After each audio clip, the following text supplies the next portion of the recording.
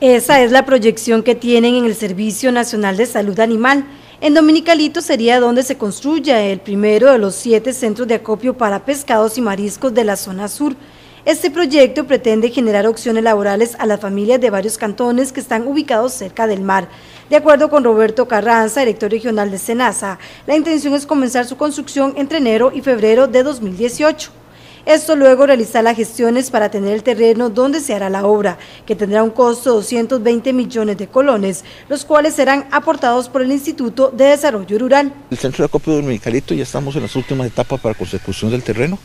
Bueno, ya el terreno está asignado, pero para el traspaso del terreno, la concesión del terreno a Dominicanito, eh, ya tenemos eh, eh, reservada, digamos, el dinero para iniciar en enero, febrero del próximo año su construcción, que son alrededor de 220 millones de colones, y ya conseguimos también el dinero, con la asociación digo, conseguimos mucha gente, ¿verdad? todos los que estamos involucrados, para la adecuación de los planos que nosotros teníamos al terreno y para algunos estudios que, se solicitan, como, el estudio impacto ambiental, y otros estudios que nos está solicitando. Para las obras ya SENASA cuenta con los diseños que fueron elaborados por estudiantes de la Universidad Veritas, como parte de un trabajo para la Escuela de Arquitectura del Centro de sus superiores.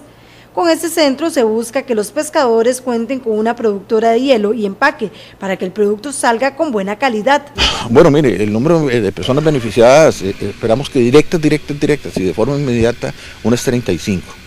Directa y de forma inmediata que son aquellos eh, eh, asociados a la eh, Asociación de Pescadores de, Dominicalito, ¿verdad? Y, posteriormente, en el momento en que nosotros logremos sacar ese pescado con las condiciones que deben salir y nos vamos a ver beneficiados todos los que consumimos pescado de esa zona, ¿verdad? En el caso de ¿cuántos pescadores más son alrededor de 35 pescadores.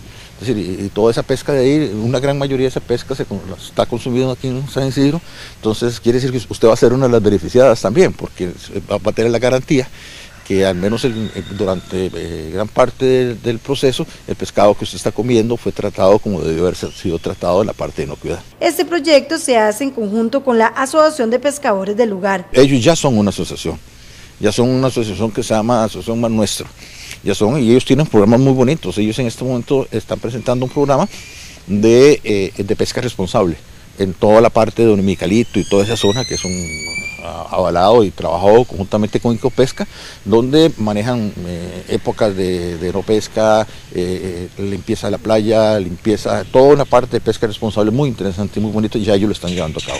Los otros centros estarían en Matapalo, Ciudad Cortés, Punta Arenas, Rincón, Pavones, Zancudo y Pilón. Ya con los terrenos a nombre de la institución sería más fácil tramitar los recursos para la construcción de los centros. La propuesta incluye que el Consejo Nacional de Producción pueda comprar gran parte de los productos.